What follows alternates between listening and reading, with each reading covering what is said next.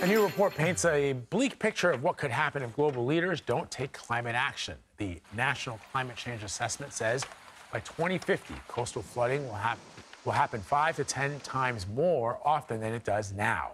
The report also details the risk climate change poses to the U.S. energy supply. For more on this report and its findings, let's bring in senior national and environmental correspondent Ben Tracy. Uh, ben, uh, you had a fascinating report earlier on CBS Mornings. Uh, the report, what did the report share about the effects of human caused climate change? Well, there's a lot in this assessment, and it is pretty sobering. I want to read you just one sentence that really stuck out to me. The authors of this assessment say the effects of human caused climate change are already far reaching and worsening across every region of the United States. So they're saying we are seeing these impacts from climate change in every corner of the U.S. We're talking about things like worse drought, more intense heat waves, rapidly intensifying hurricanes, wildfires. And one stat that is really just kind of mind blowing they say that we are now experiencing a $1 billion disaster every three weeks on average in this country versus every four months back in the 1980s. And these weather climate driven disasters are, cause, are costing the country about $150 billion a year, which is a ton of money. So the authors are very direct about this. They say these impacts are being felt, they are costing us a lot, but there are ways to mitigate some of this damage. Well, I'm glad you said that, Ben, because I know this is your area of focus, and you always do great stories that are always fascinating. When I heard this report, though, I thought, oh my gosh, I don't know if I can listen to this again. It just seems like more bad news that sounds exactly the same. So, and part of that has to do with feeling like you can't do anything about it. So, what actions does the report recommend? Tell me there's something that can be done.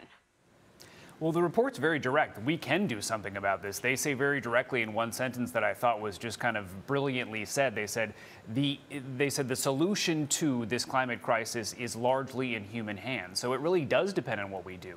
So basically, the report says that we have to rapidly cut our planet warming greenhouse gas emissions and transition to renewable forms of energy. So things like wind power, solar power, and those solutions do exist. So this is not something we should throw our hands up in the air and say there's nothing we can do about this. These solutions are there. It's just a question of how rapidly we transition to that. Some of the good news in the report is that we they actually found that our greenhouse gas emissions dropped by about 12% since 2005. Hmm. The bad news is that's just not nearly enough.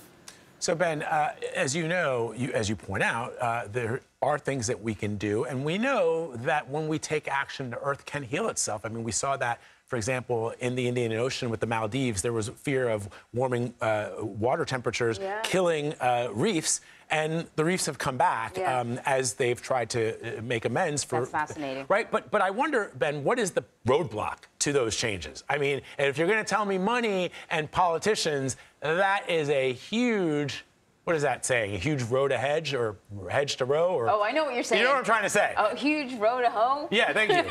well, and you are right. You named two of the biggest things: uh, money, technology, political will to actually do these things. There's a major climate conference coming up in Dubai uh, that starts at the end of this month, where world leaders once again will be in a room and try to figure out what are we willing to do about this. It's not really what can we do about this, it's really what are we willing to do about this. And I mentioned things like renewable energy. You know, costs used to be the major impediment there, where we would look at wind and solar power and say it's just too expensive.